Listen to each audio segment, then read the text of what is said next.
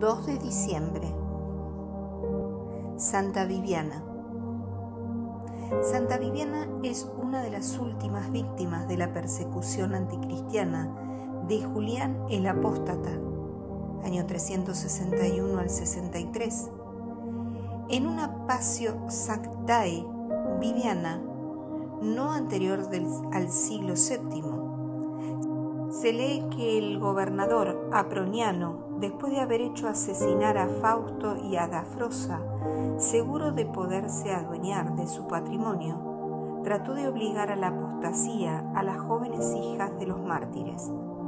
Encerrada en la cárcel, Demetria murió antes de la terrible prueba. Viviana, impávida y resuelta, enfrentó al gobernador, que para debilitar su resistencia la confió inútilmente a una alcahueta. Entonces ordenó que Viviana fuera atada a una columna y flagelada. Llena de llagas por todo el cuerpo, finalmente la joven mártir entregó su alma a Dios. Echaron su cuerpo a los perros, pero unos cristianos lo rescataron y le dieron sepultura junto a la tumba de sus padres y de la hermana, cerca de su casa construyeron una capilla y más tarde la actual basílica sobre el monte Esquilino. De esto da cuenta el biógrafo del Papa Simplicio 468 al 83, atribuyendo a este pontífice la construcción de la basílica en honor a la bienaventurada mártir Viviana.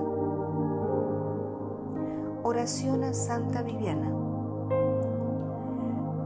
Todopoderoso y Eterno, que concediste a Santa Viviana la fe necesaria para derramar su sangre por ti, la caridad auténtica para dar amor y cristiana sepultura a los más necesitados, el valor y la resignación cristiana para convivir y socorrer a los enfermos mentales y el sacrificio y la humildad precisa para soportar violencia, humillaciones, vejaciones y los más duros tormentos.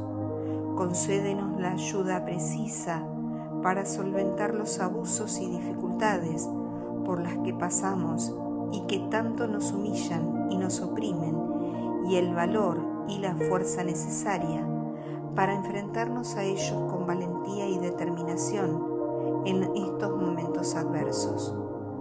Socórrenos, te suplicamos, concédenos el favor de remediar nuestros problemas, muy especialmente.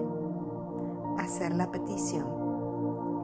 Y haz que para ayudados por la intercesión de vuestra amada sierva, Santa Viviana, Virgen y Mártir, soportemos por tu amor nuestras dificultades y con valentía caminemos hacia ti, que eres la fuente de toda vida y nuestra gran esperanza para alcanzar como ella la eterna bienaventuranza.